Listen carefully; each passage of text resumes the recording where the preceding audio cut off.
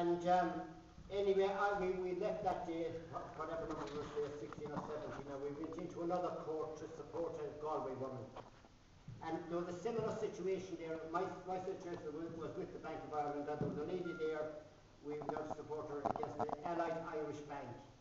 And she had subpoenaed witnesses to, to, to that very, on that very day. And they hadn't attended, they hadn't attended court. And she had, she told the judge, Judge Dunn, that she had um, subpoenaed them on a previous occasion that they hadn't attended the court. And Judge Dunn on that day, uh, you know, I, I, I part in that day, that, that whole day's, uh, that whole day's proceedings on both cases. She couldn't believe that somebody that was subpoenaed to court or summoned to court could not attend. They are actually in contempt of court. When I went in before Judge Peart to, to complain, Judge Feeney, and we have to be have enough courage to name those people because you know I've spent nine years. I have prepared this. It will be in more detail and it will be on is it digital? Whatever. Around the world. Okay. In more detail, there's a lot more detail of that, there's a lot more back, backup evidence to what I've said there. And if you don't have courage now and deal with them now, they will be back to their old ways again. So it, it is an opportunity now for you to go forward. I will continue doing a few more cases. I intend to do a better job on my own second edition of this book. We have linked up now with the universities, or at least for the moment for one university in Canada. As of two evenings ago, I spoke to them, and the lecturer there in the international uh, law uh, students, uh, has international law students there, and um, this book will be in the university in this this particular university next Monday before the law students. And it, I, I tell you, it was wonderful because it just happened by accident that this lady from Donegal, who happened to have a property stolen in Donegal, made contact with me and she sent me over, over, over all her files. And it is just as corrupt as this book. They carry on, the fraud, corruption, falsified documents to have the that her mother's property transferred into someone, into another person's name in Donegal. It's very similar to my own case there, and she was absolutely disgusted. And the reason why it got before the, into the university was it, it was a bad morning, and she, she lives in one of the concessions in North Toronto, and she drove her son into the university. And they got talking to the law lecturer in question, and he asked for the book. So I promised them that I would send as many as they request. I, it gave us, it gave us another opening. I lived in Canada myself for 10 years. And I intend now to get that into the, to the law faculties in McMaster University in West Hamilton where I lived, to the university in London, Ontario, and two named lecturers in law here in Galway and the other universities. Because a few years ago, I was asked to give a talk in UCC in Cork. And I went down there actually with a priest, and they made a joke of me. I was talking to my I asked, you know. But anyway, I will return there to UCC with this and see what will they have to say now. So we are at a level now where I don't think we can advance it much more than, you know, when you have 35 of, how many judges have we in the, in the High Court? 34, No, I have 35 in the book. 37. You mean Little over it. High Court judges? Yeah.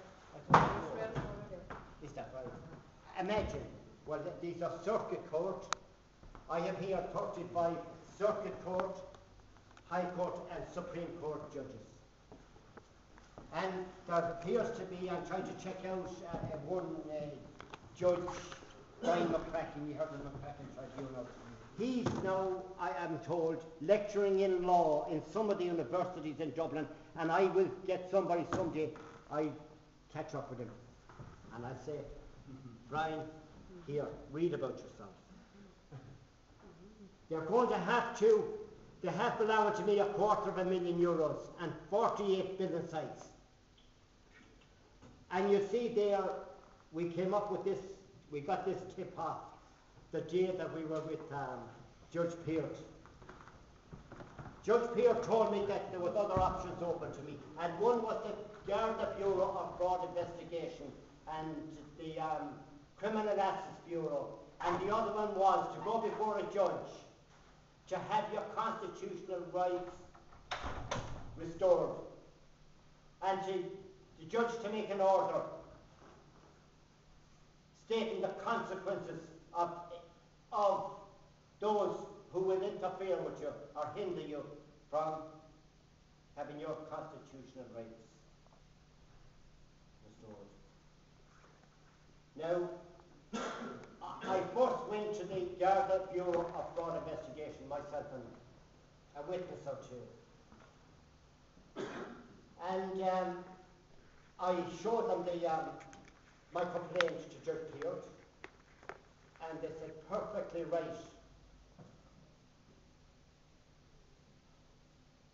It is a problem for the Garda Bureau of Fraud investigation, which I let stand for the time being until I further what I'm. I want to get this, prepare this for them. I then went before a judge, the two last judges named in this book, Judge John Cooke and Judge Irvine. And they behaved the same way as most all of the judges. They brushed me off, adjourned it until this another week and another week. And Judge Irvine took a, was it half an hour? She went in, remember, Judge Irvine, she me, she said, oh, she took a half an hour into her chambers to read, to read my prepared documentation. And Judge Cooke had told me that it was a serious matter, because it was on holiday time in. And um, Judge Irvine, her way out of saving her own hide was to send me back to Judge Cooke. I said, fuck them, I'll go, I'll go and prepare it. So now, I want to go back 100%. I, I'm very satisfied that this is not that difficult to follow. We've a few very bright boys have read this and are going to follow up on uh, uh, writing extracts of it for the, for the website. And this lady, in, it's going to be very interesting, this Donegal lady, uh, what the students will have to say about this, or the law lecture, uh, lecturer in Toronto. So what I have to say to you is this, I'm sick listening to people every day telling me they have the best case in the world and this nonsense. Anyone that phones, I believe that everyone that phones me has a case, no matter how smart it is. The detective said to me, whether it's 50 euros or 500,000, if it's stolen from you, it's still fraud. It's still theft and fraud. It's, it's, it's a crime. That is a crime. So I believe that everyone has that, you know, that, that we're in, that there's dozens of us now in court at the moment, and uh, one case is just as serious as the next. But what we have discovered, and they cannot deny it, and if they do, I'll challenge them, any judge anywhere, up a, uh, including the Supreme Court. They are aiding and abetting the conspiracy to defraud. They're, he- they're in actual fact, we saw up in, in Letterkenny in Donegal, was Letterkenny? Was, yeah. When Judge John O'Hagan took on the case, the very first case we had in Johnny Donegal, he took on the bloody case himself to beat, to beat the Gallagher's here. He had us there all day from 10 o'clock in the morning until after 6 o'clock tonight, at night. And we were very lucky, uh, there two witnesses there, myself and Doran and uh, Daniel and them. And we caught him out very seriously with his bully boy tactic, tactics and screaming trying, you know, in an effort to frighten us. But he didn't frighten us because, as we always do, we went home and we wrote the history of it, and I tell you, that was a rocky parish done. We went on then to do another case for Michael McLaughlin, whose house, home was left to, to him by his father. His father left the, the house to him in his last will and testament, and they tried to evict him. They're likewise to a John Beakey in Wexford at the moment, and just for me before I left Shannon, I left the, the, the Fortnite the other evening. We have, uh, we, have, we have some fantastic cases. We are going to have a few fantastic books to write after we uh, settle down after this, after we get this. This was a very tricky business because of the fact, now it didn't frighten me that I was told that I would never get it published. But I do happen to have a few friends who are not Irish and I was helped. And uh, I just played along with them and said nothing. And I got a price on 200 and uh, there was a there was a slight delay because there was serious um, threats against me and the Garda Síochána that I knew knew they warned me be careful be careful but they did not know that I sat down for nine years and had done nine years of serious search and faced them on my own in my own case on 92 occasions. I faced them in the circuit court and the high court and the supreme court. And every time I went to court every time I walked out I had a better case going in the next day because there were judging all the time because there was no judge no judge was able to give me an honest and and, and, and truthful uh, hearing initially we, we got 5% of the time. I complained about it on the website big time. And all of a sudden, they said because you're a lay litigant, we have we make special. We are obliged to give you extra time. And what happened then? They gave us all the time in the world, and they still went against us.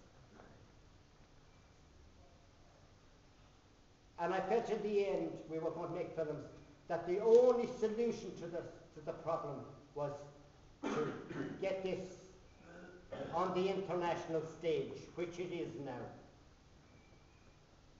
As far away as St. Petersburg in Russia. I'm doing a case now for a gentleman from Moscow who was robbed, a businessman in Galway, by the Bank of Ireland and the legal profession. And he told me that I had to get it into the, they've translated themselves into the library in St. Petersburg. So it's, lo- it's there. I have it in, I got it to Tasmania, Australia, New Zealand, Canada, the United, across Canada and the United States, across England. I, uh, I hope to get across to Wales. I, I, I was kind of busy. Wales and, and, and Scotland because there are a lot of people who lived here who have been clearly robbed by the gangsters. So um, it is true actually what the gentleman said in Cork in 2003. We have the most corrupt legal system in the civilized world. And we do not have judges on the bench. They are political thugs and screwballs of corrupt politicians.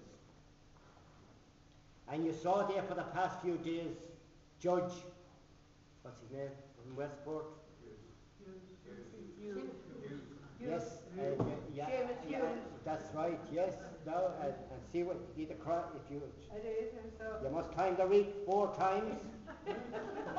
If you see the butt of a cigarette. We have his photograph now, we have the story. I have, he's in the very first page I of this know, book. what did he, do you mind me ask if you can give it to us briefly? What did he do to that man from the Netherlands? Or can you, uh, he, he, he had him over. Well, you know, the, the, the, story is on the, i- i- is one of the first Oh, stories it, is it in the, uh, on the website. Hmm?